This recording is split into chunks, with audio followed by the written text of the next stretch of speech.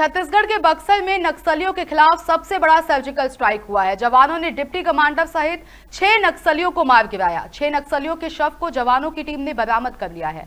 आपको बता दें कि ये मामला बीजापुर ज़िले के बासागुड़ा थाना क्षेत्र के चिपुल भट्टी में तालपेरू नदी के पास का है। दरअसल इलाके में नक्सलियों के होने की सूचना मिलने पर डीआरजी, सीआरपीएफ और कोबरा के जवानों की संयुक्त टीम सर्चिंग पर निकली।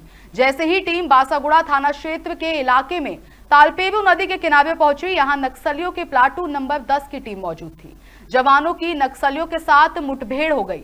जवानों की टीम ने डिप्टी कमांडर सहित छह नक्सलियों को मार गिराया है और सभी नक्सलियों के शव बरामद कर लिए गए मुठभेड़ में छह नक्सलियों के शव बरामद हुए हैं। कुछ परसों जो तीन ग्रामीणों की हत्या नक्सलियों ने कर दी थी। उसी के सर्चिंग में टीम गई हुई थी और उस मुठभेड़ में छह नक्सलियों के शव बरामद हुए हैं। ये कन्फर्मेशन आ चुका है।